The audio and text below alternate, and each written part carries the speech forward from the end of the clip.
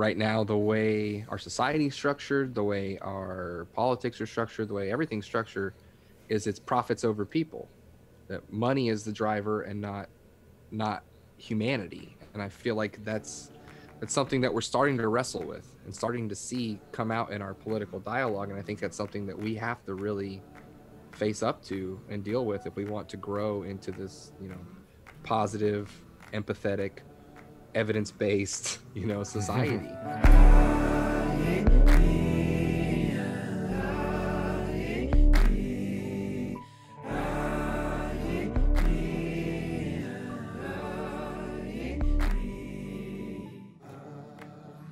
This is the Be Where How show. Mystic philosophy made practical. There are many paths up the mountain, and we're just pointing at a few of them. I'm Bob Peck, speaking with Scott Stanley, Ryan Paget, and Melina Kiriaki. We are conscious creatives and formerly closeted mystics trying to unpack the inaccessible. According to the mystics, the truth cannot be spoken, but we'll try to talk about it anyway. Hello, this is Sunday, November 15th on the Be Where How show. Our guest today is Dr. Aaron Conrado. Welcome, Aaron. Thanks for joining. thanks for having me all Very glad to. I'm going to read through your bio and uh, we'll jump right in. Before I do that, just want to shout out to our collaborator, Ryan Paget. Um, he has worked very hard all year on HBO's Murder on Middle Beach. Um, it's a four part documentary series. It is premiering tonight. Um, by the time this episode airs, it will be, I think there'll be two episodes that you can watch on HBO. So uh, check it out. He is the head animator and graphic designer for an HBO show. So cheers, Congrats, Ryan. Thank you congrats very man. much. Yeah, yeah, super exciting. Yeah, it's been uh, a long time coming. We've been working on this for, I mean, just me been working on this for almost a year now. Um, Madison, ha, you know, he started shooting this uh, uh, eight years ago. Um, Jesus. It's also Wow. his life So- story. So in some capacities, it's Yeah. like he's it's entire life. He's, He's- been shooting yeah. for a long time He Yeah, started exactly. this in film school at SCAD uh, back in like 2012. So he's been working on it a really long time and uh, just really excited Wow. to, for him to be able to share his story and, and especially on such a large platform as HBO. Um, and it's gotten really, really amazing reviews so far. All the critics' reviews that came in on Friday, all really, really good stuff. So I'm really excited Wow. for everyone to see it. Super cool. I'm Great. gonna watch episode one tonight. Yeah, me too. awesome. Great. Um, Dr. Aaron Conrado, our guest today, holds a PhD in molecular biology from the University of Texas at Austin. While dedicating himself in graduate school to scientific progress for the betterment of others, he discovered a passion for communicating science to non scientists and like us, and decided to leave the halls of academia to pursue a career using this newfound talent to address societal problems by creating evidence based policy solutions. Shortly after graduating, he left his home of Austin, Texas, and moved to Washington, D.C. to work on science policy in the Office of Science and Technology Policy in the Executive Office of the President the White House.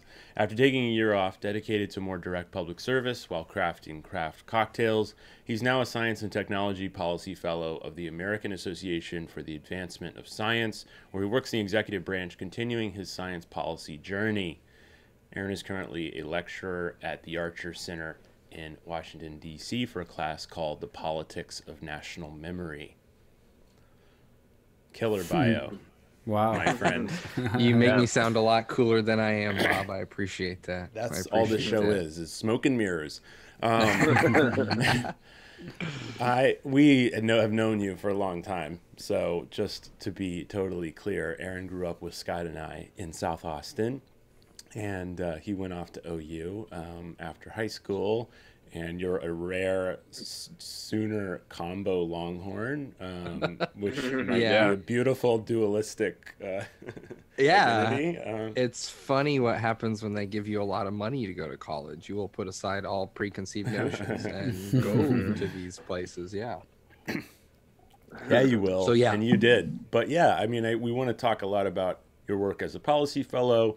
Um, this is a spiritual show, so listeners, um, don't worry, we'll cover science and spirituality um, and Aaron's thoughts and kind of. Uh, he's listened to some of these episodes and has, and he knows us for a while, and so he has uh, thoughts that might uh, agree with some things that we have to say, and some that might uh, create some friction, which I'm interested in covering as well. But um, but yeah, first before we jump into that, give us a little more about your background, personal, professional.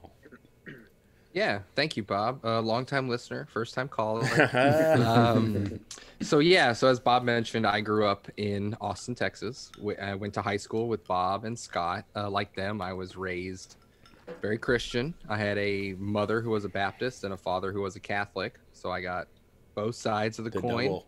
Yeah. Which, as you can imagine, led to a lot of questions from a very young age because I'm getting kind of two stories of the same thing.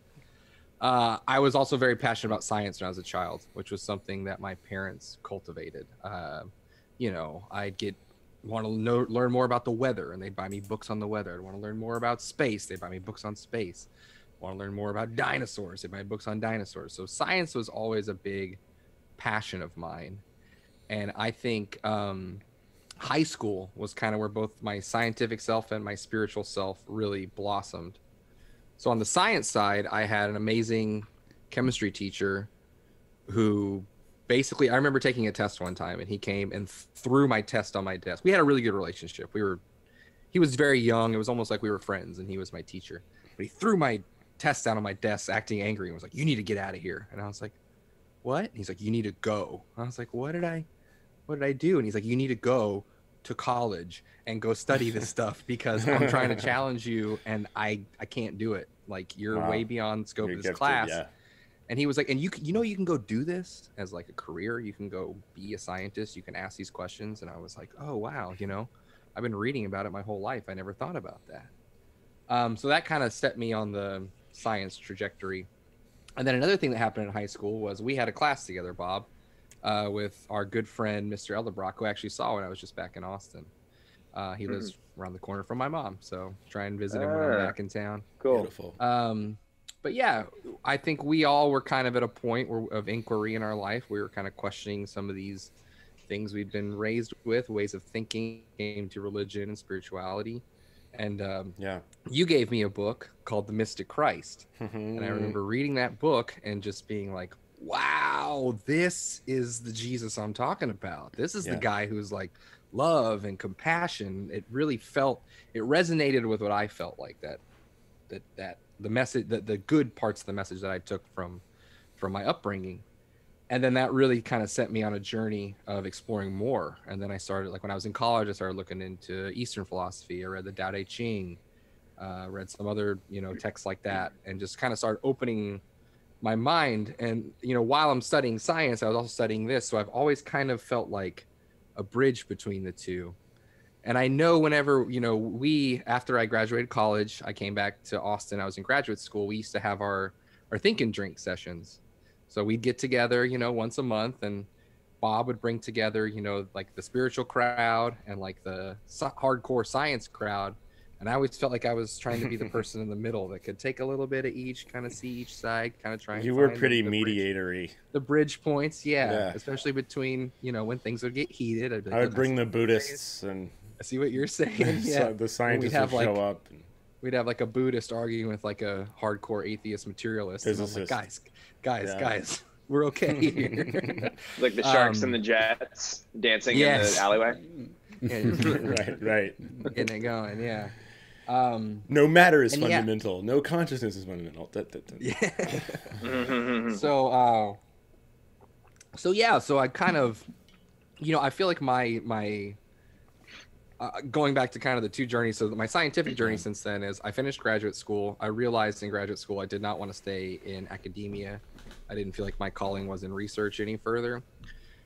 But the reason I got into science, um, more than just in, intellectual curiosity, was I wanted to help people.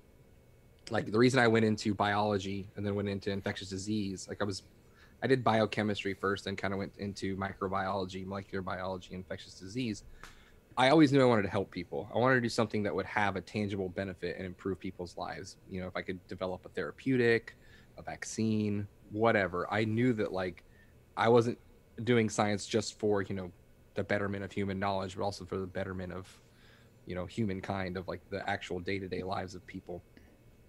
Um, and I never lost sight of that, Which I even when I was like, I thank you, thank you. uh, I never lost sight of that, even when I was like, I don't want to do research anymore. I was like, okay, well then, as you said in my bio, I started to do science communication a lot. I'd go talk to kids at schools. I'd go talk to museums. I'd go work at science summer camps, just trying to break down, you know, all this complex scientific knowledge that I had and, and give it to people in a manner that they can understand. Because I always tell people, like, what I do is not beyond anyone's comprehension. Anyone can understand it. I just, when we talk about it in professionally, we use terms, we use things that, you know, are common to You're us. translating to the layman, right? Right. And I always say if you can't break your science down and explain it, you know, I use the mom test. If I can't explain it to my mom and my mom can't have a general idea of what I'm doing, I don't think I really know what I'm doing. So, Mhm. um, It's great. So anyway, so cool. I, That's I saw this passion, uh, this new passion, and wanted to pursue that. And so I ended up stumbling into the world of science policy, which I didn't even totally recognize was a thing at first. Um, so I secured a fellowship here in DC, just kind of over the summer, uh, three to four month thing, and thought I'd come try it out. Uh, there was an uh, internship component of that, so I managed to get an internship in the White House at the Office of Science and Technology Policy. Um, don't ask me how I did that. I just filled out some forms and they called me and said, "Sure, come on." So you know, I was working next door to the White House every day. Um, it's pretty surreal. I saw Kanye West when he walked into the White House. Like Wow. these things you see in the news, you know, like they're happening. It was weird. Yeah. Wow. Uh, I ended up staying on, so I was there for about six months. And then there was another fellowship here in DC that the one that I'm currently doing that I wanted to apply for, uh, but there was about a year in between. So I was like, yeah, you know, I'll go work service industry. I've done that before. Uh, ended up becoming a bartender, learning how to make cocktails, which was a lot of fun. Met a lot of great friends doing that. And then yeah, started this fellowship. Um, started this fellowship after that, and then my spiritual growth kind of since grad school i feel like it's it's like punctuated equilibrium like i will like immerse myself in it and like read a lot of books and like like find this kind of new plateau where i feel and and and think and then like i'll get sucked into something else and i'll kind of set it aside for a little while and then it kind of percolates in the background for like maybe six months to a year and then all of a sudden it's like whoa i'm back let's go um and so like recently uh in the past year or so i've like started a meditation practice which has been great Nice. uh, I've started reading. I was like I was telling Bob, I even started reading the books that I've had on my to read list, like autobiography of a yogi. I Yeah. find, like I was listening to one of your episodes, the episode about it, and y'all were talking. I was like, all right, I gotta crack this thing open. It's time. I gotta start reading this. I gotta get there. So I've I been told reading Aaron that. if the only re- the only thing that comes out of this podcast is that Aaron Conrado, Dr. Conrado, reads autobiography of a yogi and influences policy decisions scientifically, then our work is done. Job done. yeah, yeah, Um, exactly. Yeah. So so that's been great. And then uh, and then yeah, now so I work in the executive branch as a AAAS uh, fellow. I'm actually at the Department of Defense of all places. And like disclaimer, everything I say on this podcast is not reflective of AAAS or the Department of Defense. It's my personal views. Don't at the Secretary of Defense. um, but I work on peacekeeping of all things, which was something I, you know, not what you think when you think of the Pentagon, and something when I saw the listing, because for this fellowship you interview all across the government. I interviewed at National Institutes of Health, National Science Foundation, Department of Energy, Department of State, all different places. But I saw us listed, and I was like, peacekeeping, the Department of Defense. I got to go check this out. I'm, I'm intrigued. um, I had a great interview with my supervisor, who's a great guy. Uh, it's been a really interesting office. It's been really interesting to see kind of how you know the largest government agency, the behemoth that kind of has its fingers in every pie, uh, operates from the inside, and then also kind of how you know this little small slice that's like, hey, let's slow war down. Let's try and prevent war. How that kind of fits into the the thought making and decision making processes there. Wow. That's So- amazing. So great. That's there's so much that I want to dive into at each turn of the narrative. Here at your Um, disposal. Well, thank you. Thanks so much for that context too. Um, it, it- we also had a laugh that that means that I gave you the Mystic Christ 15 years ago, uh, which means yes. that I've just been basically giving that book out to people. I think I gave it out to someone someone like a month ago. Yeah. Oh, we're we're passing that crucial inflection point. You and I, uh, I see it with a lot of other friends too, where we've known each other now longer than we haven't. Yes. Which is yeah. mind blowing to think about. Yeah, oh, that's we're cool. old. But yeah, no, that that's beautiful that you uh, reference that book because it, it so transformed me in my spiritual path and Scott and his and Ryan and his eventually as well. And like, you know, I, I just love so many little moves in your story. Not little, like gigantic, actually, uh, turns in your in your in your plot points that you laid out here. Um, one thing that I'd love for you to talk about too, before we get into the policy and the Department of Defense and peacekeeping, which I really want to ask you more about. Um, but you, from from my understanding about your studies, you were initially into um, bacterial um, phenomenon, right? Yeah. Um, and and basically, what you told me years ago was that you were trying to help curb um, antibiotics being less successful. Yeah, yeah. So that was kind of what my my graduate work centered around. Um, the therapeutic applications would be quite a ways down the road, but we were kind of at the base level trying to find knowledge that we could then use to get there. Um, but one of the reasons because they develop immunities, right? Yeah, you're going to go right, all the, yeah. right. So bacteria are they develop resistance. Basically, what happens is when you mutate or when you stress a bacterial cell, it starts randomly mutating its DNA everywhere, non-discriminately, in the hopes that it will pick up a mutation in the in the right spot that will then make it able to better survive the stress it's almost like a population based strategy, right? Because you think about there's these populations of in the body or in the environment of thousands, maybe millions, maybe probably not billions. That's more like laboratory conditions of cells. So it's almost like they all just start mutating themselves, and most of them, you know, like kill themselves. They hit a gene that's essential, they die. But it's like if one of us can survive and pick up that one mutation, mm. then I will survive, and if I'm survived, I'm not stressed. I can start growing again, and then one cell becomes two, becomes four, becomes eight, becomes sixteen, like, you know, and then all of a sudden, whoop, we're rocking and rolling, and we're all resistant. It's like all of my brothers and sisters shall live on through me. It's it's so it's such a weird thing to think of, it's right? Natural um, selection, exactly. All of that, um, right? exactly, and and then the next step to that is this bacteria that's developed a resistance can encounter another bacteria, usually the same species, but it can even be different species, and pass that resistance to them.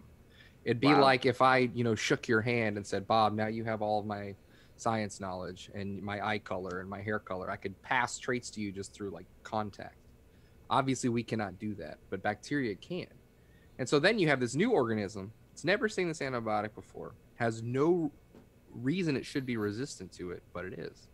And then if and when it encounters an antibiotic, it's like, eh, whatever. I'm, I'm, I'm good. I don't, you're not bothering me. And so obviously that becomes a problem because this is happening all the time. It's happening at increased rates due to things like improper use of antibiotics. Um, and then at the same time, we aren't really making a lot of new antibiotics. And mm. so there's fears that, you know, within a matter of decades, there's going to be certain pathogens, certain diseases, you go to the doctor and you say, "Hey, I've got this," and the doctor says, eh, "Good luck, man. Like, we'll do what we can, but we don't really mm-hmm. have a medicine for this. Like, we could go back to a pre-antibiotic era." Wow. So that's like super that's scary. Scary, right? Yeah. And, and like right now, we're going through, you know, like a pandemic. I feel like those are like the, those are like the short, acute problems that we could face when it comes to infectious disease. The long term problems are things like this, like antibiotic resistance. Mm-hmm. So when we talk about, you know, antibiotic resistance getting transferred from one bacterium to another, that was the kind of thing that I studied. How can this organism take up it, it's carried on genetic information, on DNA, on genes. How can this bacteria take up a piece of DNA that it's never seen before that it should know what to do with and work it into the systems that already exist in that cell and then use it. Because bacteria are really frugal when it comes to energy. because they're very vulnerable to their environments. They're very they don't know where the next piece of food's going to come from, right? Like our cells waste energy all the time. They're just burning it off. They're they're fine because they're all working together. You know, they one bacteria cell and it's lonesome. It's just like I, if I find a little scrap of food, I have to get the most out of it. I do everything I Mm. can with it. So it has all these really tightly regulated systems for when certain genes come on, when certain genes come off, because it doesn't want to waste anything. Like it's a like, how desert can these, like- plant or something, like a succulent Yeah, with no yeah. resources. It's just it has to go the furthest it can with what it's got. It doesn't want to waste anything. So how can how can this new piece of information integrate so easily into these really tightly regulated systems and then, you know, for the organism's benefit? So that was the kind of thing that I studied with the idea being that hope if we could understand these mechanisms, maybe we could stop that from happening in the first place. Maybe we can say, hey, we can create some kind of therapeutic where you can't take up this DNA. Or maybe you can still take it up, but you're not going to be able to use it. Or maybe as soon as you take it up, you kick it right back out. That would be the idea. I remember you first explaining that to me. I think at a Think and Drink philosophy night at Hole in the Wall, and uh, I remember thinking like, I'm doing important work with my films and religious whatever exploration, and then Ryan or uh, Aaron was literally like, Yeah, I'm trying to curb humanity's potential at avoiding a super bug that destroys civilization. That's what I'm working on. You know, he didn't say it like that, but that was my read. I was like, wow, okay. One of the things about scientists I'm going to go Bob, back into that- Adobe Premiere. One of the things about scientists is every scientist thinks that their work is the most important thing in the world. uh, if they weren't, then they wouldn't be doing it. That's true. And they also get really good at telling stories about it because they have to write grants. They have to convince people to fund them. So they have to self mythologic. why this is so important, why it's the why it's the most important thing you should fund over everything else. So we get good at like kind of spinning up our own research, you know. If you were with me in important. lab watching me do it, you'd probably be like, "This is boring." Yeah, you're just like taking a tray out of a fridge and then I'm putting just, a like, tray into a fridge. I'm moving small amounts of liquid from one place to another place, and then you have tests of this liquid that tell me this liquid is not the same liquid you had before. Yeah. I love it.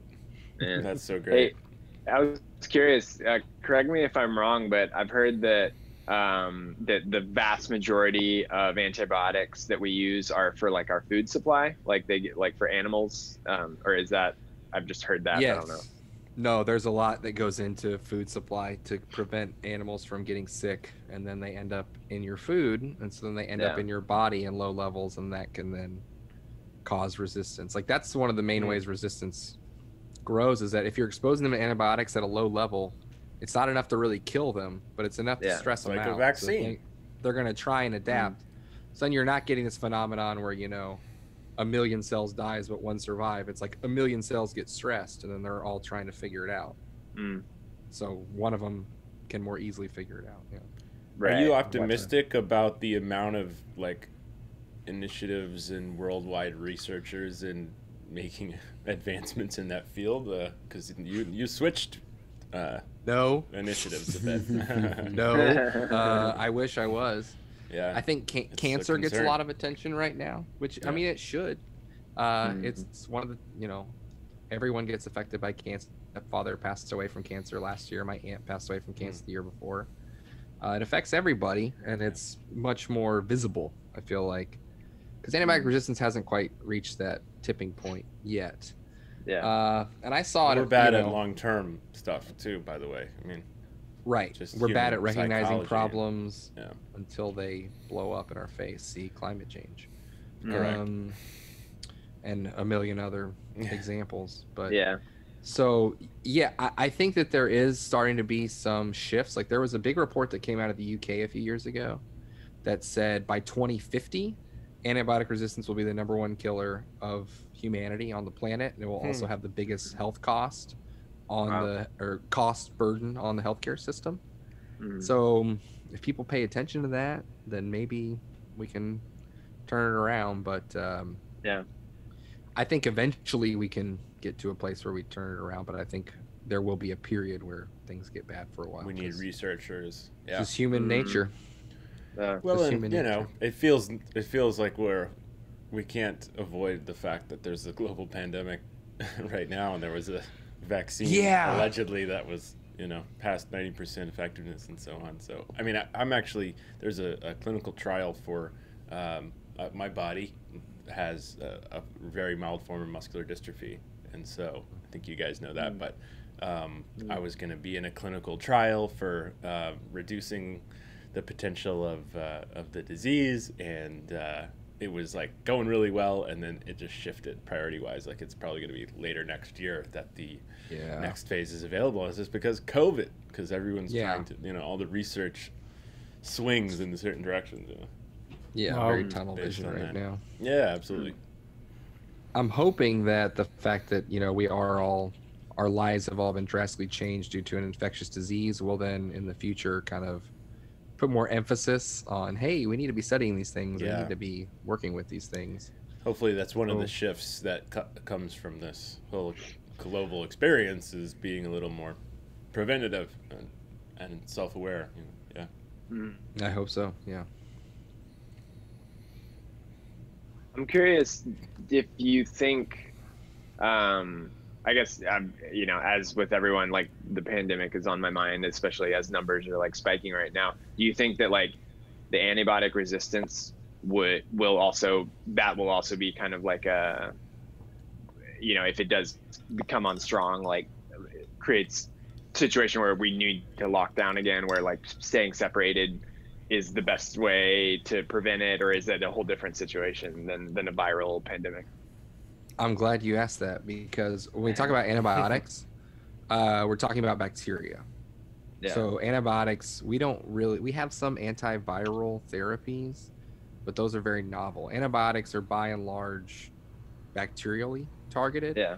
and bacteria are the ones that are developing resistance. Um, it's actually interesting that you say that though, because so so antibiotic resistance doesn't really apply to viruses, Right. but Right. it's interesting you say that because for every single living organism we've ever found, we've also found a virus that infects it, which includes bacteria. Mhm. and they're they think that the main way these genes get transferred these antibiotic resistance genes get transferred between bacteria isn't even the way i described earlier the contact. It's that a virus infects a bacterial cell and kind of inserts itself into the bacteria's genome while it's replicating and stuff. And then when it jumps back out it kind of pulls extra genes with it which can include antibiotic Mm. resistance genes and then it infects the next cell and it leaves them behind which is Hmm. interesting. Um, so as far as COVID wise, I don't think that would be a thing, but that is a, another cool, Yeah. another cool phenomenon Wow. that we see in nature. Yeah, One thing that's particularly interesting to me about you know you having a PhD and you being such an expert in your field regarding just scientific research and you know even just knowing the fundamentals about uh, this area of knowledge so thoroughly that you know it seems like in 2020 and you know the age of information and the age of disinformation like the amount of misconceptions that you must see uh, must be frustrating. And you know i think to, to tie it thematically to beware house show is like you know a lot of what we talk about is like like deprogramming or unlearning or you know uh, that's those are strong verbs but you know Yeah. there, there's a there's a lot of misconceptions that our culture uh, pervades our collective understanding and i feel like you know science is uh, uh, certainly a part of that and that there's just so much because of all the content because of all the information about these areas of study um, you know there, there's more eyes and more impressions on like hyperbolic claims and uh, you know ungrounded stuff whereas like scientific research journals for example are pretty slept on like there's not it's mostly just Yeah. scientists that are working in those areas and like how do we um, you know get that get grounded information out in a way that is more reliable and trustworthy and allows to empower people unlike the lies i don't know you know what i mean y'all hear me I. I, I, I do, and I think that you know the democratization of information in so many ways is a double-edged sword. yeah Like you can kind of just find a source that supports your viewpoint and go with that, and that's not. I mean, we're all guilty of it, not even in a scientific sense, just in a personal sense or a political sense or whatever sense, you know. Like I saw one time, I think it was um, I think it was Al Roker. You know the media, the way the media portrays science, they're like a study says this, which doesn't Right. mean that's true. It's one study, right? You need an aggregation of a lot of studies. You need a mountain of evidence to start to prove. And there's confirmation bias from the researchers themselves if they're interested Absolutely. in the field that they work towards. Absolutely. It. Yeah. People's careers are at stake. And when we talk Yeah. about, you know, what we might talk about later, talking about, Yeah. you know, is consciousness derived from the brain or not? right. There are Mhm. people whose whole careers are staked on that. That if we say consciousness is something separate from the brain, everything they've done the past 30 years doesn't really mean as much anymore. yeah, there's politics involved. Yeah. Mm. Right. But yeah, but I, I believe it was Al Roker, and I don't fault him for this. You know, he's on TV. but they were talking about some study of like says that, you know, coffee is good for you or coffee is bad for you, whatever. And he Mhm. said, you know, you see all these studies that say conflicting things. I feel like you just, you know, pick the ones that you want and then go on with your life like that. And I was just like, no, like, screaming at the TV, like, that's not how this works. Um, Just, yeah, just I- Al Roker spitballing to 10 million yeah, people. Yeah, right. And I'm like, I understand. You know, he's on TV. He's just doing his thing. He's being funny. But I'm like, no, that's Just gabbing. Um, But I, I, I think to go back to your your original question, I think um, something that scientists, a place where they fail, and it's funny because research supports that this is a this does not work. You can't just beat people over the head with data. You can't just make Yeah. people more scientifically literate and understand and expect people to change their minds, expect society to shift and change. It just it, it doesn't work. It doesn't work. Uh, telling people they're wrong is probably the best way to to get them to keep believing whatever they believe. you Yeah. said it. So I think science has an issue where we need to tell better stories. Stories stick in people's minds more than data, and I mean that's And we have data to support this. Right. Yeah, and I have data to support it. and that's my story.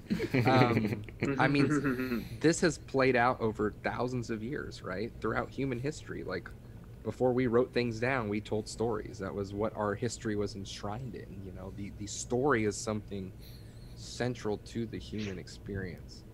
And so I feel like when you can take your data, take the things you know, and couch it in a good story, that people are more likely to buy into it.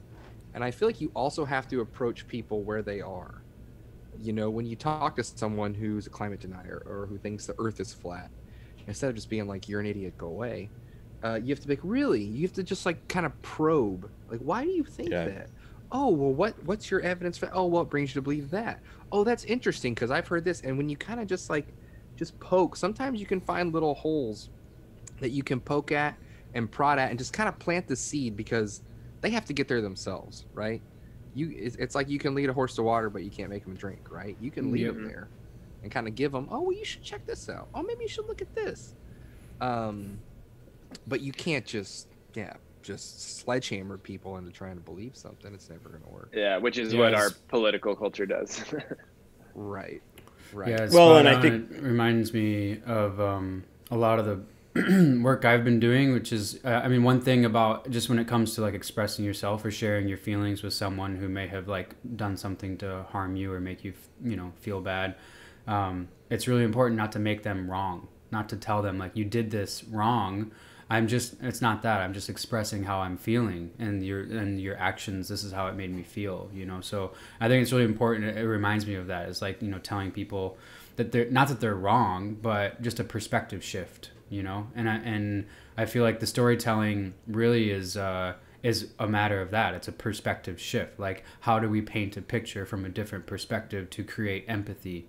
Um, that's when I feel like things really change. You know, being able to create empathy um, for the perspective on the other side of whatever you might be thinking, and um, I think that's great. I think like you know scientists learning how to you know be better storytellers uh, would would help, would help a lot for sure. And be Absolutely. empathetic listeners and uh, yeah your Yeah. your level of like spiritual maturity and self-awareness is extremely refreshing being that your work office is next door to the white house so please continue to uh, spread this these Totally. types of techniques of like empathy and like you know uh, Yeah. listening, mindful listening. You know, is what you're talking about. I think we see that across our culture in all aspects. What we need is more empathy, and we need Yeah. to be teaching people to be more empathetic. Like I think the four of us have become empathetic people through different means. I think we were all probably started with some semblance of empathy that we then cultivated and grew and had good people around us, good experiences to help grow it. But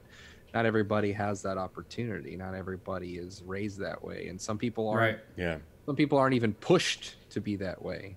Right. Um, I mean, I think we see it in our society. You know, like I always say, right now, the way our society is structured, the way our politics are structured, the way everything's structured, is it's profits over people.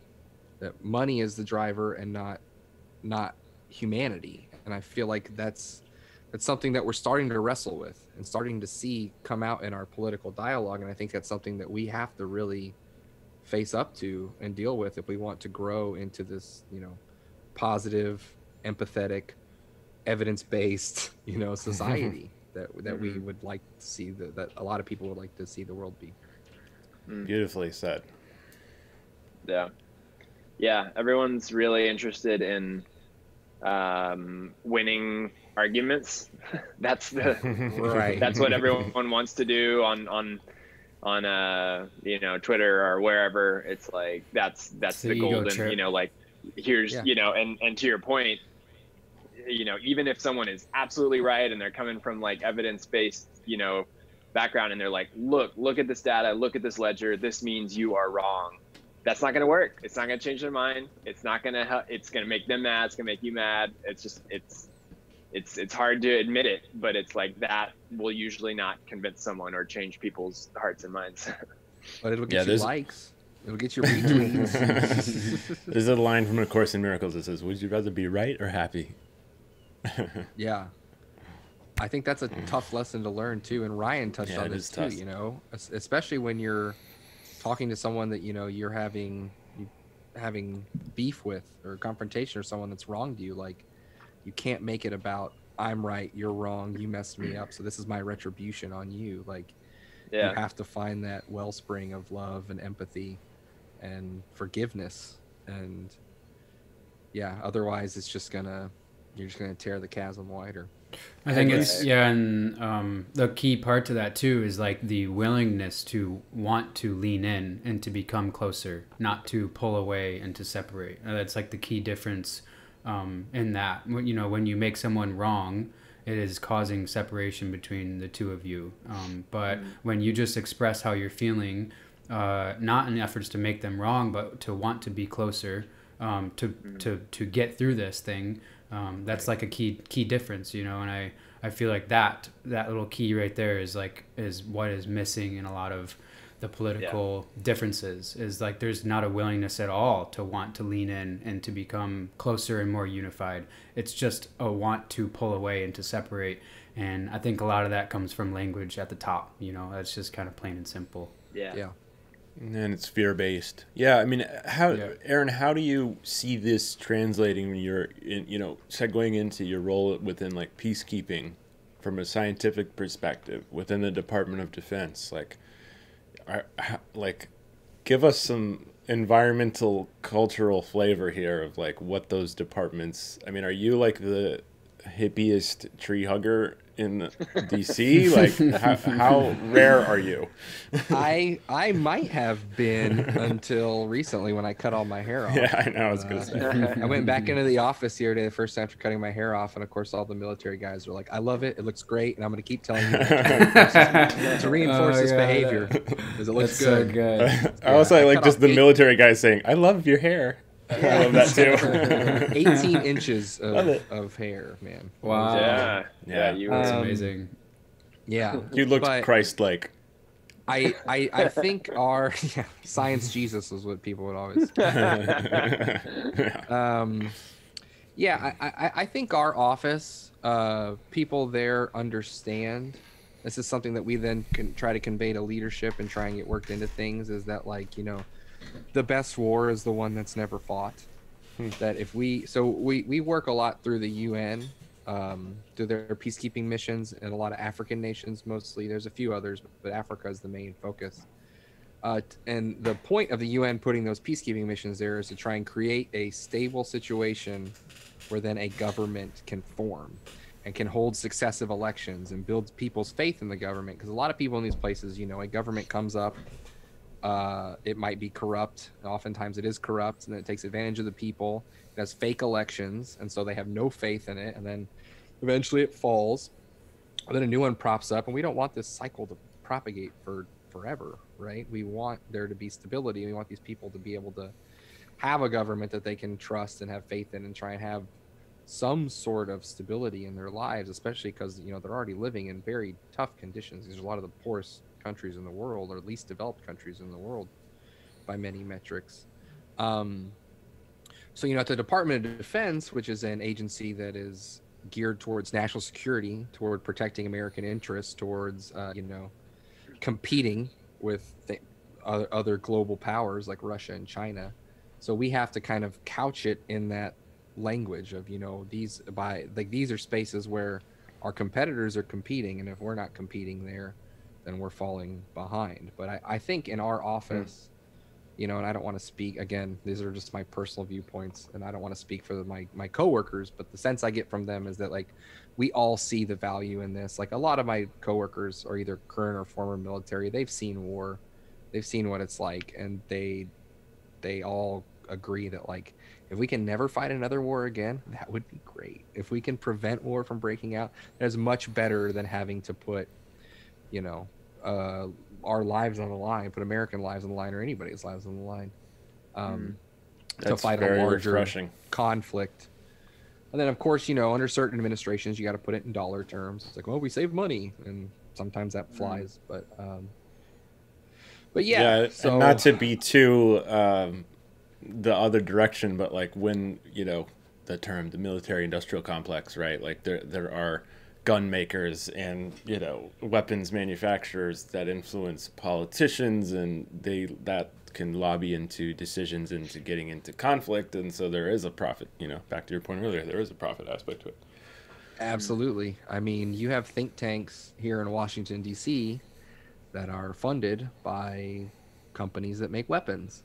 And they put out a report that says, oh, there's a gap between the U.S. and Russia on X capability or X weapon. You know, we we need to make more of those. And then, you know, the Department of Defense reads that and says, oh my gosh, they're right. We are falling behind. We need to make those. Yeah. Uh, so then they sign a contract to that company to make them. Well, that company that funds that think tank are the people who make those, and so yeah. May we shift some, away uh, from those and into the former vets that want to avoid There, war. there can be some some some slippery kind of stuff going on. Yeah. hmm Mm. Yeah. Thankfully, that's not in my wheelhouse. I don't have to deal with that stuff. You did go to Africa. I, I, I'm glad you mentioned that because I tell us did. more about that uh, trip, if you would. Uh, it was a very very eye opening experience. So yeah, I was mostly in the Central African Republic and the Democratic Republic of the Congo, with a little bit of time in Rwanda. Uh, yeah, and I was in areas like I said that are very uh, underdeveloped, very poor, very conflict ridden. Uh, yeah, and it was very eye opening. You know, it makes you. I'm already very grateful and very thankful for the things that I have, but seeing it like that, you really, you really feel it. You really feel it. Yeah. Um, some beautiful places though, beautiful places. But but yeah, I mean, you're staring poverty right in its face, and it, it, it's hard. You know, there's you're you're there, and there, there's so much you want to do to help these people. There's there's so much you wish you could do to help these people, but there's you, you only have so much that you can actually do. Was this a Um, research trip? So this was for work. Yeah, this was through work to go visit the the UN peacekeeping missions that are in those two countries. Okay. Um, so and yeah, they're doing mediation between conflicting groups primarily, or like what? yeah, what so a lot of it is specifically, like trying to enforce the peace agreement between the government and different armed groups, trying to like uh, disarm and demobilize these armed groups, and then reintegrate them. A lot of times they'll try and say like, hey, you know, throw down your weapons, like renounce this group, and then we will retrain you and make you a soldier in this country's army. And then through that, you know, you have a job, you can get paid. Um, because I mean, th- th- that's the thing that you see in all these places is people I, I'm in Africa. I've traveled other places in the world, as I'm sure y'all have too. And everywhere I've gone, I see the same thing. Every single person wants the same. They want you know food, water, shelter. They want to love and be loved. Uh, they want Yeah. security. You know, they their want family. autonomy, like have a family. Right. Everybody wants the same, you know, basic needs. And I think that you know ultimately that would be the goal. That's the goal over there. That's the goal of what we're trying to do here. You know, in our country, that's the goal anywhere. Is just to try and secure these things, ideally, um, and maximize happiness for the most amount of people. Easier said than done, but beautiful. yeah, Yeah. that's A lot the goal. easier said than done. Yeah, but No, but maybe we doesn't mean we stop trying. Right? work towards it. Yeah, absolutely. Yeah. I mean, that's like It's great. ancient. That's like Upanishadic type of type of vibe. Yeah. man. May all beings Yeah. be happy. Absolutely, absolutely. Um, I'm hesitant to steer into matter versus consciousness is fundamental because I feel like we're gonna get the runaround, frankly, uh, or that we're gonna get just encircled by a genius, and I want, I almost want to claim to my, I want to cling to my fanaticism, um, and uh, I'm afraid I'm I mean, gonna get disproven. There's plenty here. other stuff I can talk about too. if, you, if you want me, to, if you want me to retain my. Uh, I'm not. I'm not here to just like bash you down until you. No, I. kn- I know you're not, but you're um you're you know you're a scientific researcher, PhD. Tell us tell Hey, us I- I about wanna some of those Yeah, pieces. Yeah, yeah, yeah. Let's do it. Let's do it. Uh, I have a couple of quotes I can read. I, this one's maybe a fun one to jump us in. Um, Okay. the uh, the idea that science progresses by a series of funerals. yeah. Um, Yeah.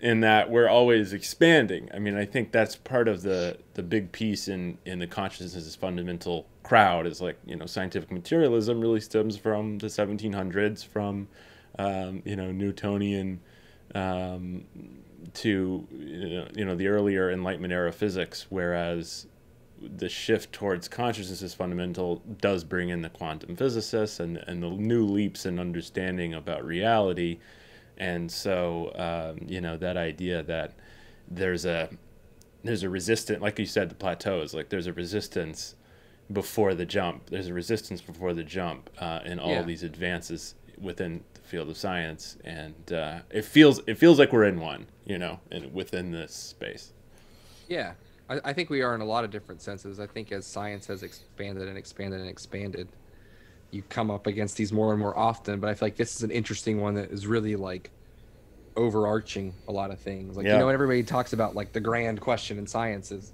trying to find a unified field theory, right? Trying to explain Mhm. how all these different forces and different things we we experience interact and how they work and you know saying that consciousness is fundamental over matter is one that answers that question so yeah it's a big it's a big leap. It's a big shift. As i was thinking about this i was like i think the three of you have already like jumped off the cliff and are like swimming in the sea of consciousness.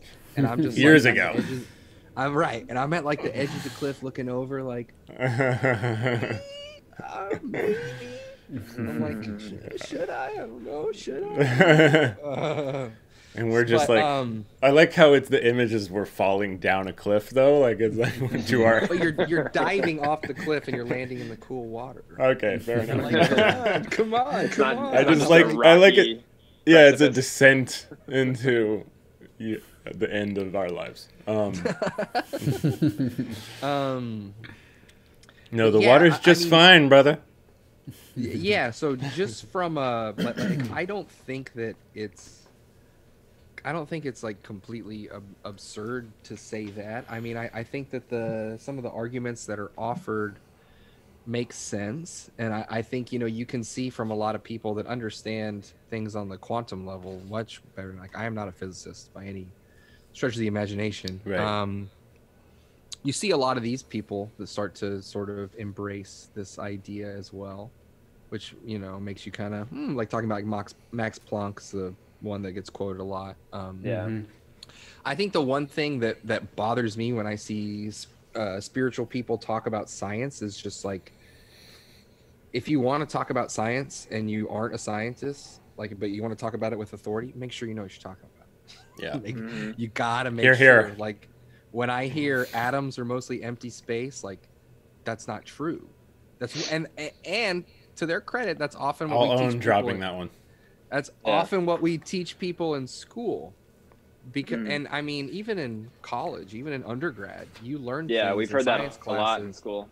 Yeah. Yeah, you you learn things in science classes that are a watered down version of what it really is because they don't Yeah. think that you're able to handle what it really is, that you can wrap your mind around it, which I Mm. think is dumb because then you ingrain these false ideas. Yeah. Right. Right. so, so the the picture we end up with in our head of an atom is that it's all particles, right? That it's a bundle of particles in the middle with other particles going around the outside. So there's all this empty space between the particles, but really, they're acting like waves. Things act like particles at high energy, like when we slam them into each other in a collider. They act like particles, and we want them to act like particles so we can smash them apart and see what they're made out of. But at a low energy state, like what they're like in your atoms, they act like waves, which means that like this is hard for us to comprehend because the world around us is more or less like particles, right? Like discrete, like so they occupy a lot of space at once. I don't know. I have a really good article I could send you that that can talk about this better than I can, but sure. Mm. We'll link with it. the idea Yeah. that it's describe almost it like as there's a cloud, right? right? Yeah. There's like a cloud, and you can think of that cloud as like, if you want to think of that as occupied space, right? So, so every time I like I listen to something like, well, you know, our atoms are mostly empty space, and they use that to make some kind of argument about consciousness. I'm like, that's your Yeah, and- foundation's and not good, our- dog. Our old buddy Yeah. Sam. I mean, I, we we have a very secular physics minded pal, and um, he Sam. he told me that yeah years ago, which really did uh, you know leave an effect because I, I think I think it's true. I think you know I always try to preface my uh, anytime I talk about this stuff by saying, "Hey, I'm not a scientist." You know, like disclaimer kind of thing, which I think is super important because I mean, he told me that years ago, uh, making the argument that a lot a lot of spiritual teachers will say like, "Well, quantum physics proves this, this aspect," and, and it's like, it, what you're doing is you're taking the life's work of someone in order to misread it and make your argument flimsy you know like take your flimsy argument about reality and make it firmer without really knowing it or really honoring what they've did and what, what research that you're kind of co-opting. So i think that is extremely important to talk about you know as far as like within spirituality and sciences that um, you know let's really be sure that we're um, you know not not doing that that we're not misreading what what these uh, these results you know scientific papers and studies and so on i mean i think it's speci- when, when you talk about the specifics is key whereas if you just say like well quantum physics proves spirituality then that's not quite right so let's really Right. be clear A wise person once said, "If you come at the king, you better not miss." Hi-yo. Right now, Mhm. science is the king of the way we think, so you got to be careful Yeah. if you're gonna. Yeah. Yeah, you got to have Yeah. really strong evidence if you're going to make like a really bold claim and then Or- it needs to back up. Yeah, or at least not Yeah. speak incorrectly or spuriously, because then that's really easy for people to lock in on and not listen to the rest of what you're saying and saying, "Oh, but that's wrong, Mhm. but that's wrong, but that's wrong." Mhm. And I feel like you know when we talk about, so I haven't read um, an end to Upside Down Thinking yet, but I've watched some interviews with the author, and that's one of the things he talks about. You know, when they talk about, have you gotten pushback from people? It's like, well, they harp in on specific examples instead of looking at the aggregate.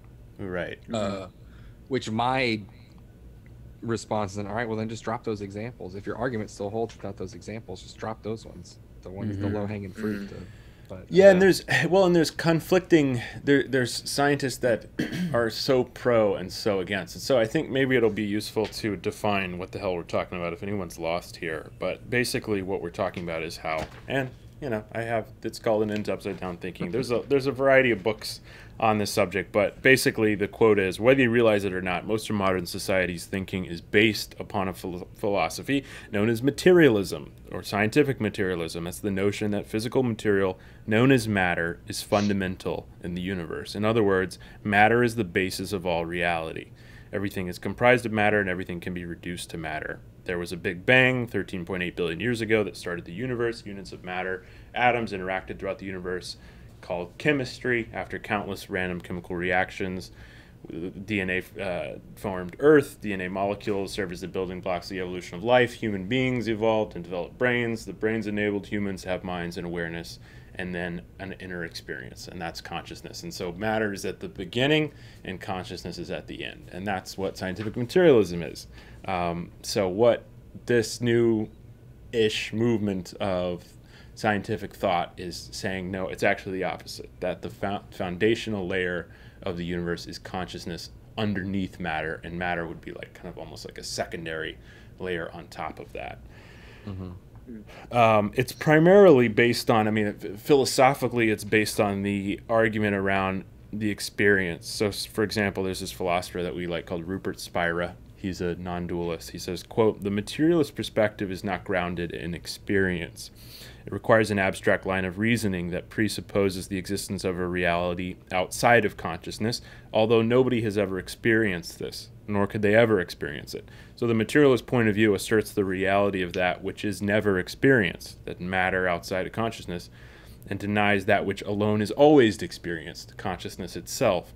So that's the tragedy of the materialist perspective is that um, it's ultimately, I mean, it's almost improvable if you think about it like that, because there's there's no way that we could divorce ourselves from consciousness being tied into uh, making a claim like that is, is one of the early arguments for deconstructing materialism. There's more, hmm. um, and I think mainly what uh, I'm happy to pause here in a second, but mainly what's interesting about this book and about this research is that it's not just one variety or like one discipline. It's it's evidence across a whole series, a series of anomalies across a really wide variety of scientific disciplines. If it was one thing in one area, not so interesting. Um, but if it's taking place, if there's kind of exceptions to the rule in each discipline um, that kind of point to this idea, that's compelling to me, and that's worth investigating more thoroughly.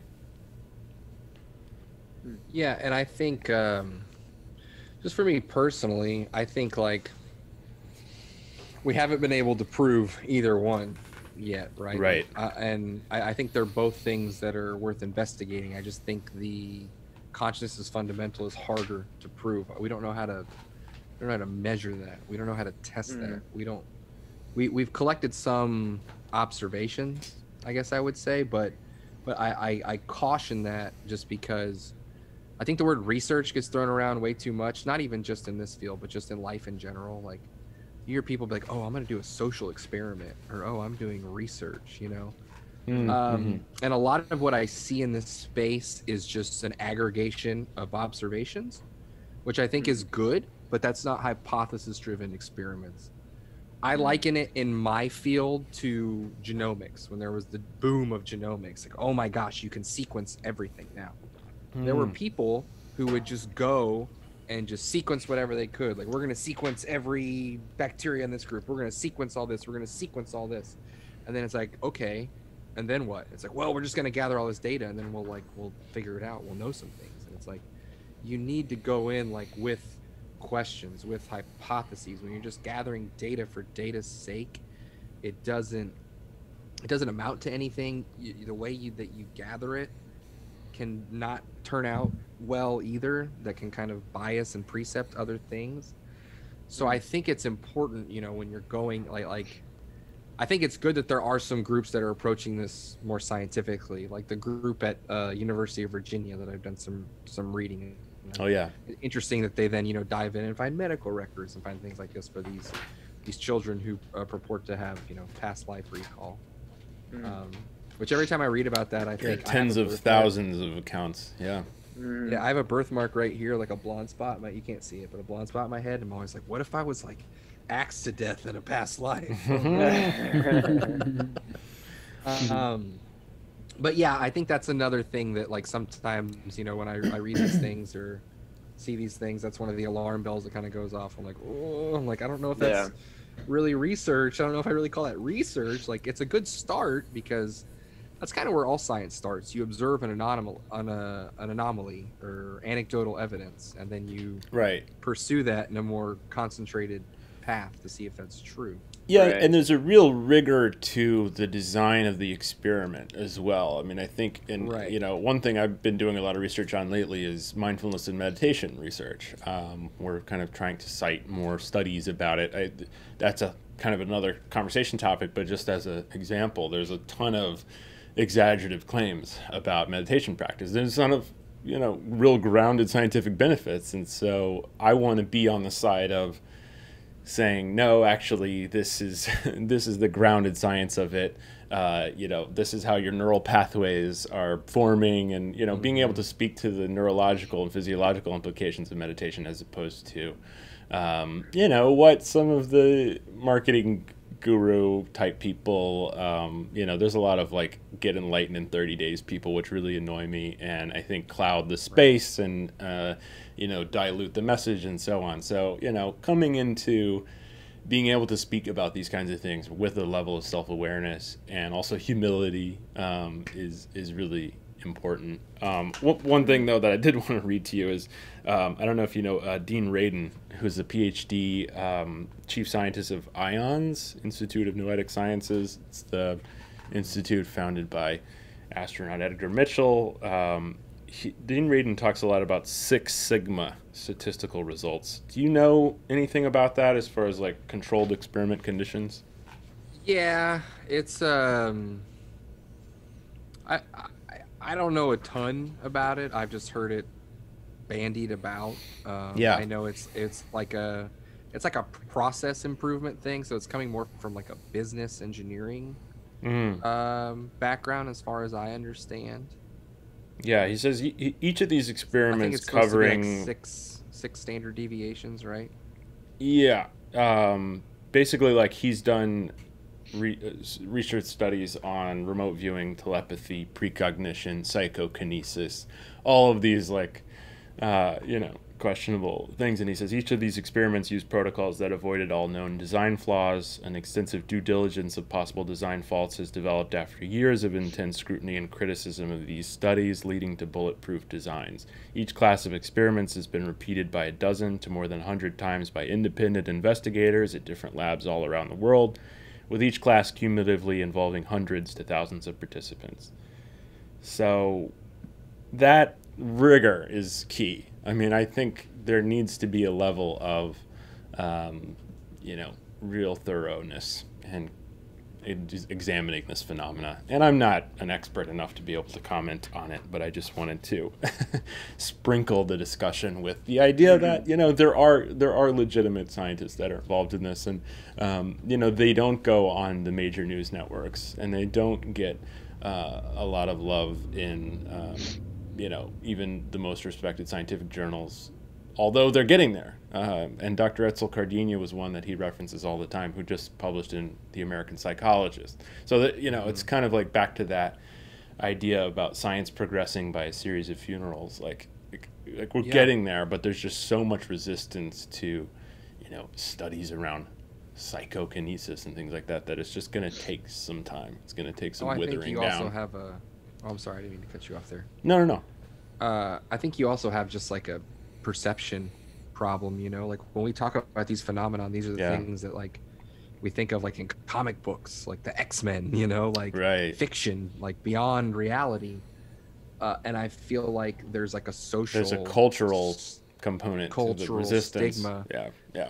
beyond the fact that it challenges people's entire careers, beyond the fact because Yeah. I feel like a good, a truly good scientist would, if they like, like they they can feel when the winds are blowing, when things are shifting, and they'll adapt and they'll be ready for what's going to come next.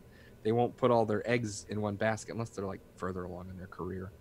Like younger scientists, I feel like are better at this.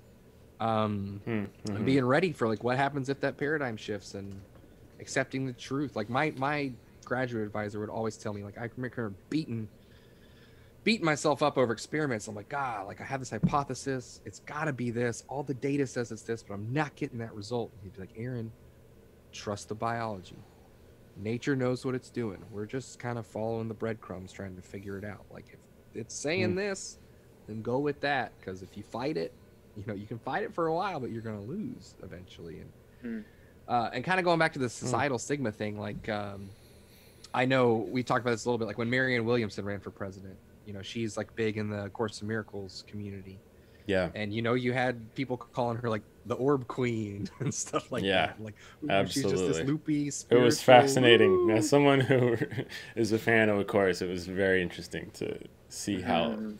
like the larger society responded to her and like there was there was some very negative articles on like the Daily Beast and like you know which I'm not a fan of them but you know there there's there was some critical like this woman's insane crystal lady articles and uh, look at this verse that she quotes. And also like she she even defended a course in one thing where she said like uh, you can't just pull like what those articles would do they pull like three lines from a course to be like look how crazy this is like this book is 1500 pages like it's Yeah. making a larger argument that you're just completely removing the larger context from so i don't Yeah. know Well. But- and media is really good about sound bites. Yeah, pulling it out of exactly. Context. Like when we talk about science, I kind of alluded to this earlier. The way that media conveys and portrays science a lot, they have a big problem, and I think that's one of the reasons why.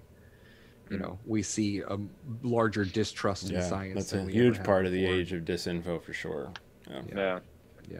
I But go ahead. sorry. Yeah, I was gonna say I wanted to um, add, add some more context. I guess this is back to the earlier um, like cliff analogy, where sometimes I feel like I'm just hovering off the edge of the cliff because I like to look at both sides of it. And like I've kind of always been this way. I both my parents are scientists. My um, dad was a chemist for the Austin Power Plant for like 30 years. My mom uh, was a lab tech in uh, in the water quality lab. So they like, you know, but I was also raised Christian. So it was, uh, you know, I've always had both elements there.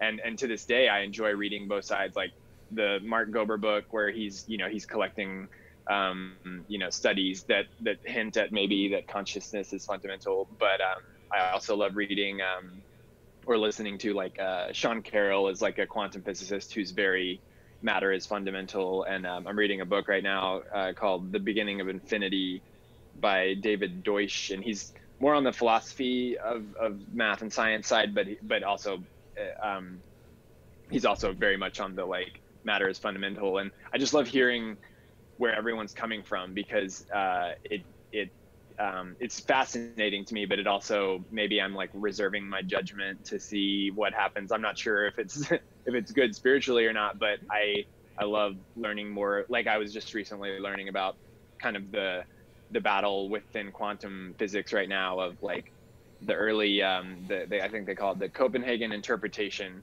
was like Max Max Planck and the guys that were like talking about how um, you know it uh, the the wave only turns into a particle when you look at it therefore consciousness is deciding everything and then now there's like a new Right. theory rising up called the many worlds theory where it's like it has nothing to do with consciousness but all those possibilities are splintering off into multiple universes and that's growing steam now so um, i just love hearing Yeah, the observer effect out. is a oversimplification, as Right. Sam and I think on o- other kind of secular-minded scientists will tend to dispel like the Deepak Chopra read on, uh, you know, the observer effect means therefore that you know we're Right, and projecting everything, and uh, it's not People kind of that. You know?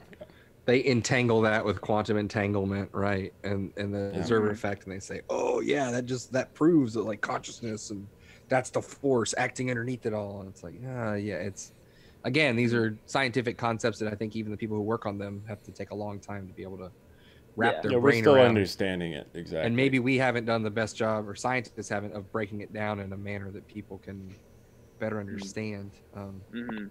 that's Yeah. something interesting I wanted to bring up with y'all though too is like for for what we're talking about when we say in, in the in terms of like if it's derived from the brain or not like consciousness I think is the word to use but when we're talking about it like as the thing that underlies the universe do you think consciousness is the right word to use because I think of it more of like as like an energy as like a force and I think that Hmm, when you use yeah. the word consciousness people can get bogged down and stuck on that. It's very difficult to use to find the words to conceptualize because I mean I th- I was talking to some spiritually minded friends recently. I just told you this, but I was we were talking about whether or not consciousness is fundamental. You know, standard uh, drinking Modelo's by the pool and uh, trying to unravel existence. And uh, you know, the uh, question I got back was, wait, so you think that tree's conscious? So that that chair is conscious? And that's not at all what the consciousness fundamental crowd is trying to say. It's that everything is this is almost like a projection or connected to this underlying substratum of consciousness underneath all of material phenomena. And I, th- I think that's a good word. Substratum implies like subterranean or like foundational, um, you know, underneath this kind of more seeming living dance of separation on top of that unity Fabric. that connects all. Yeah, exactly. Uh, so that's an important distinction to make as opposed to like, wait, you think the stapler has a mind and a brain? It's like, no, not quite that. It's a little different. Yeah, another thing that kind of came up as I was turning this over my mind is like, do you think consciousness, whatever you want to call it, this energy, is conscious then? Because that almost hmm. implies mm. that like it's the same as you know, other divine creator myth things that you know that there's some mystic force watching over us and or guiding our lives. Because then that for me the next question that falls is like, why? and like why are things like this? Like if i'm going to be reincarnated as a means to like improve myself why can't i look back on what i've done before? Because wouldn't that help me grow more? Like what's the point you know? That's going to be a whole nother episode. That's tune in next week. Um, we'll get to the why uh, at some point. Mm-hmm.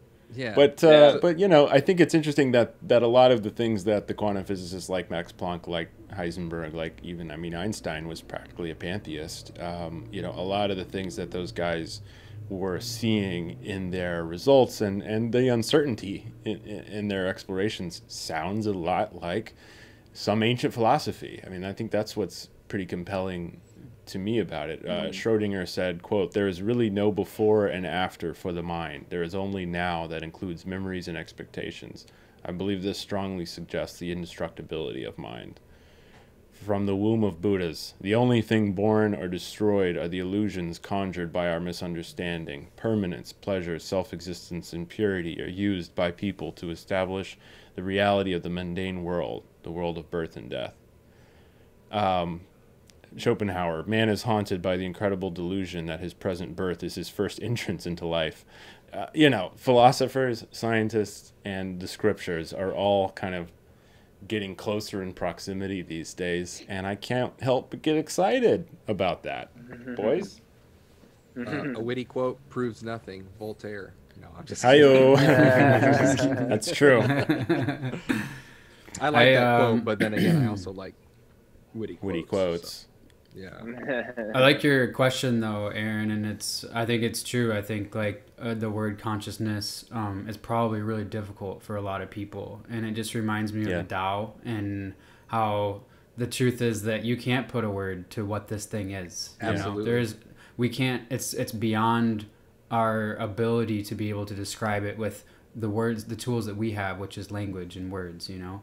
Um, so it's uh it's something it's a it's not something that is easily solved you know? Um, and I, I think it's true. Putting a word like consciousness on it probably is difficult for a lot of people. I don't really know the, the way around that uh, besides maybe everyone agreeing that uh, this thing is really hard to describe you know? Mm-hmm. yeah to your point it's like ineffable is like the best word for it. Like the fact that it is not definable and not use you know it's like a negative definition. I think like the buddha basically calls enlightenment like the cessation of suffering.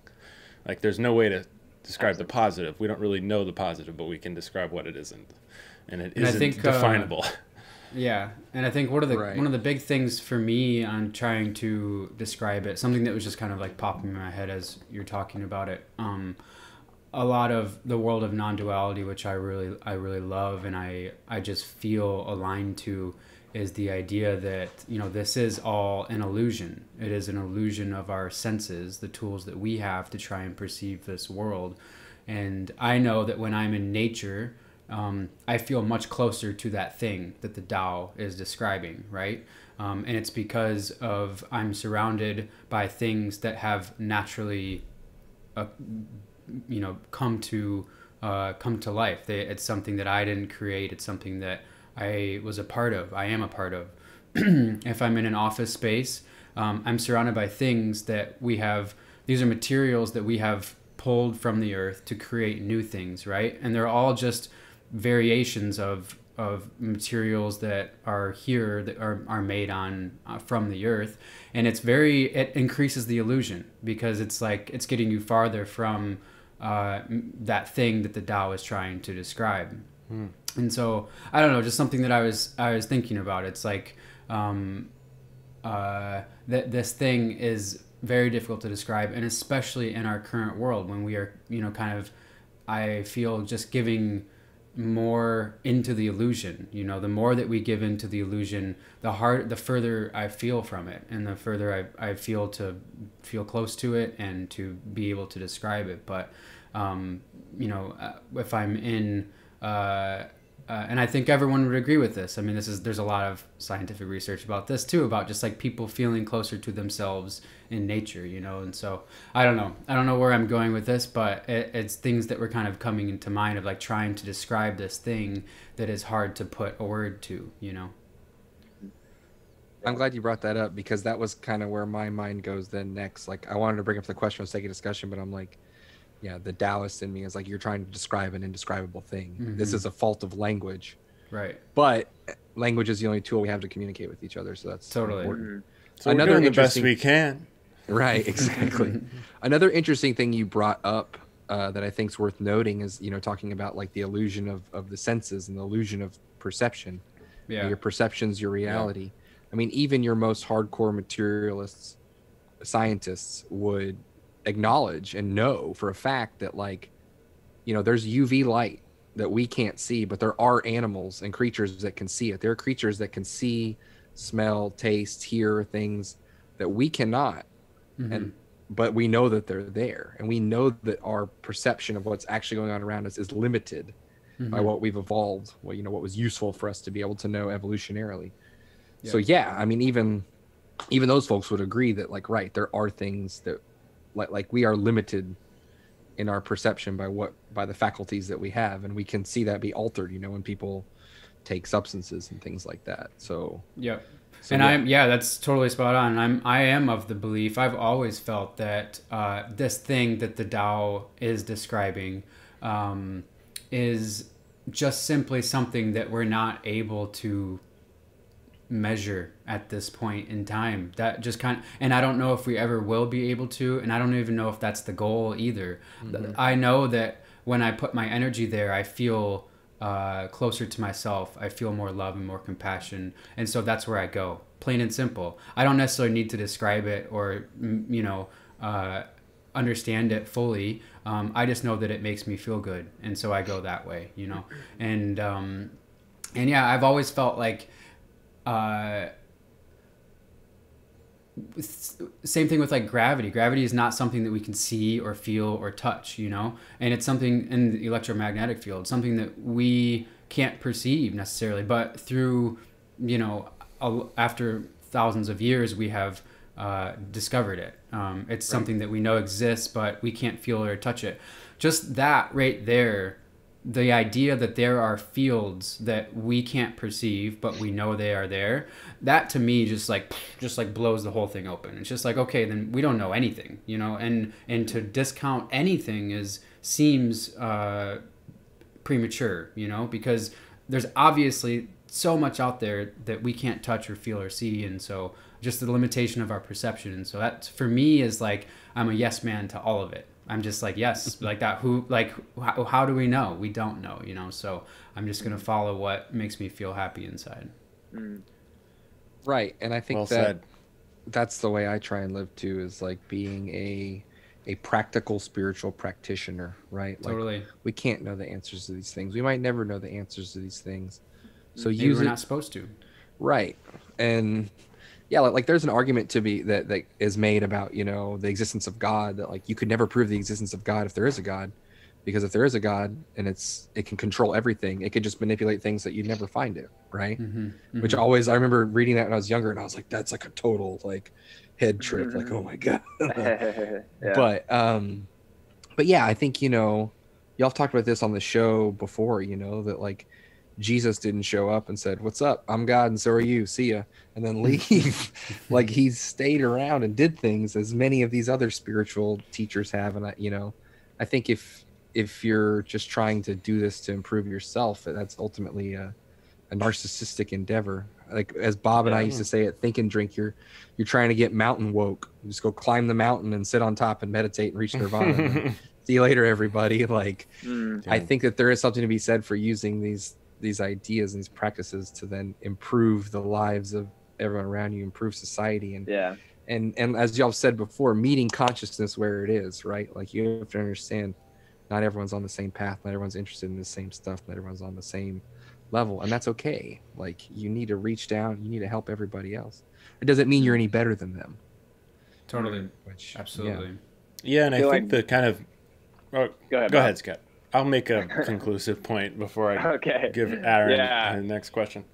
Well, yeah, I was gonna say one of my one of my like issues with it is when people try to uh, like prove their faith or prove that it's correct. It gets back to this like wanting to win the argument more than anything, and like it doesn't help either situation. It doesn't help you prove anything, and it doesn't help your faith because it just makes it weaker because it's trying to rely on something else that it shouldn't. And I was like trying to uh, like the last this week I've been trying to like conceptualize like my relationship to like science and, and faith in these things. And um, I guess the metaphor that came up was like um, I was imagining like like a you know a blank empty room and say that's like the whole universe. And and science um, when it makes these advancements and discovers things it's like a it's like a statue. And as more statues arrive um, you notice more you you notice the negative space that it leaves in its place or that's around it and i'm and i'm that. fascinated for two reasons that are entirely different because I love i love the statues i love the progress and like what it teaches us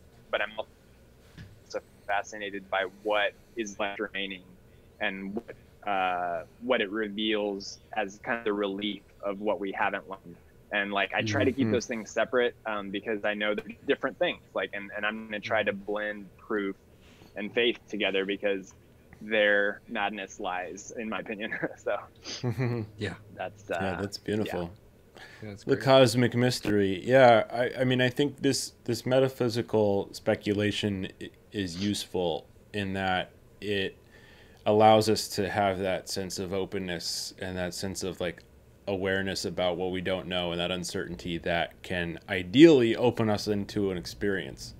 And I think to Ryan's point about like how nature is grounding for him, I mean, I think a lot of advancements in spirituality don't come from intellectual speculation. They come from experiential uh, you know phenomena. They come from from going through and enduring something in a positive way. And what the intellectual side of you know all this investigation can do is open us up to be able to receive that and open us up to you know that larger sense of understanding that I think to your point Aaron will you know allow us to spread it and allow us to live our lives in a way that is helpful and beneficial with others. Like when, when you get in, when you get a taste of the oneness you see other people as one and you see other people in and other beings as a part of your own collective uh, experience and, and collective understanding. So um, that's my attempt to tie up everything that you guys are talking about into a definitive uh, point here because I, I find a lot of value in a lot of uh, those kinds of explorations despite not having answers and despite not having like conclusive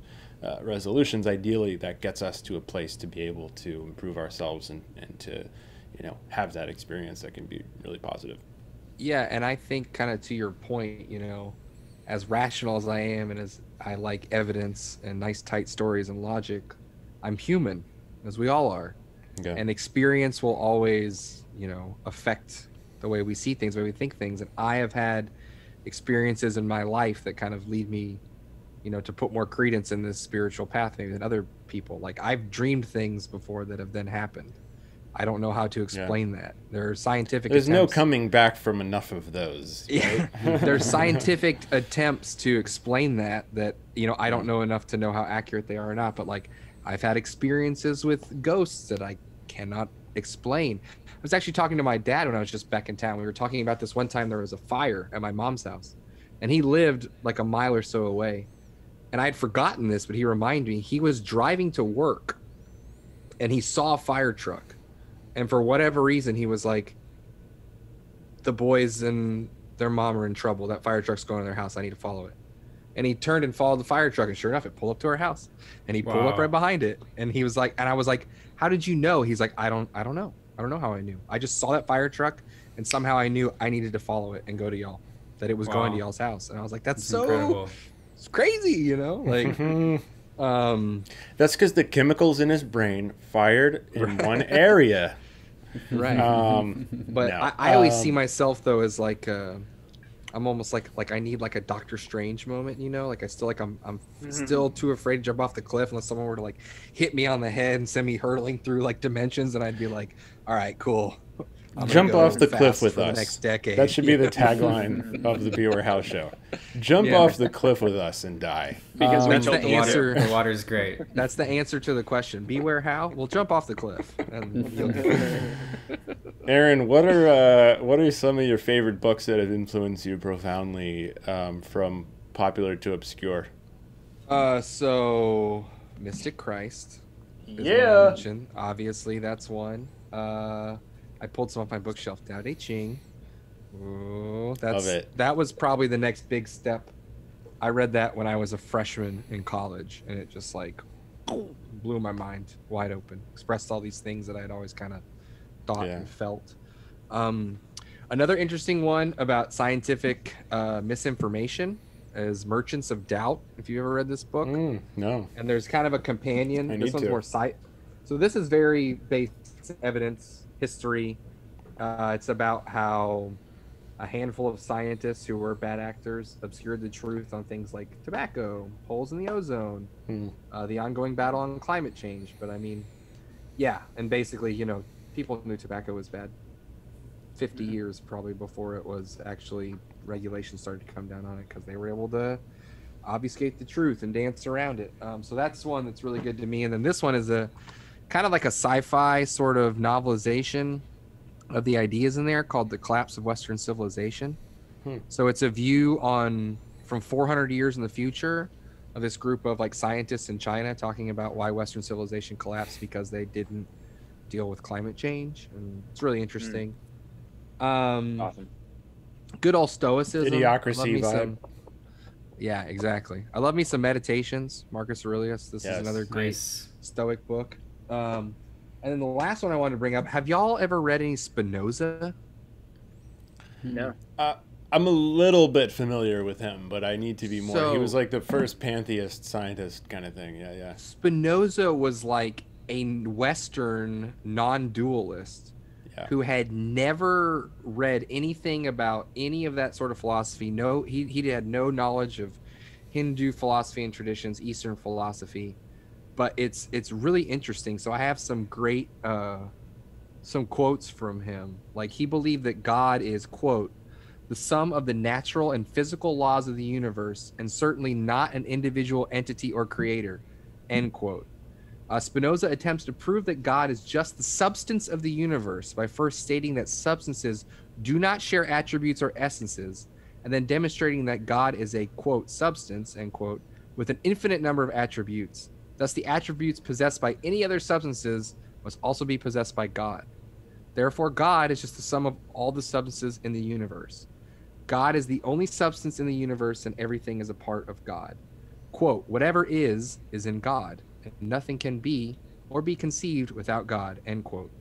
And the person who wrote this says the concept of God is this concept of God is very similar to Advaita Vedanta of Hinduism. And like there's multiple other analyses of him that are basically like he's like saying what the you know, it's Vedanta philosophy and he had no Yeah. idea. Um Yeah, so he was this book huge for early kind of scientists and early philosophers. Uh, what was he, four or five hundred years? He was early. I mean, he was yeah, he was pre-Enlightenment in era, like the talking about I pantheism. want to say 1600s. Yeah. Yeah. Wow, Wow. that is early for a Westerner So- to be saying stuff like that. Yeah. That God is yeah. the So accumulation he- of substances and physical chemicals. Yeah. Yeah all that and like and i mean and he was by his peers was very very lauded by his peers like hegel said like he said the fact that is that spinoza made a testing point in modern philosophy so that it may really be said you're either a spinozist or not a philosopher at all Mm. Like, yeah he was also a and lens he maker. had this Like he had a his philosophy was a Yeah. side gig, so that inspires me. Hmm. So As- it was a career. philosophy doesn't pay the day jobs no, it doesn't. It Doesn't doesn't even pay pay Spinoza's bills, bills. no um Those quotes from him are amazing. Thanks for sharing Sorry, those. yeah, I didn't. Uh, I interrupted you. My bad. Those are great. No. Uh, he, he, yeah, I, I've got a few more, but like he was very into like intuition and intuitive knowledge, which I know when we talk about non dualism, there's like the rational mind and the intuitive mind and finding the balance between the two. And so, yeah, th- this is, I'll just read one more. He said, uh, There is, as I shall show in what follows, another third kind, which we shall call intuitive knowledge. And this kind of knowing proceeds from an adequate idea of certain attributes of God to the adequate knowledge of the essence of things. So he was all down with this idea of like intuitive mind, rational mind, and that they're both valuable, trying to balance the two, you know, Hmm. almost like 400 years ago. That's So- beautiful. Wow. Thanks so much He- he for just- sharing. Yeah, we'll link all I don't these. know.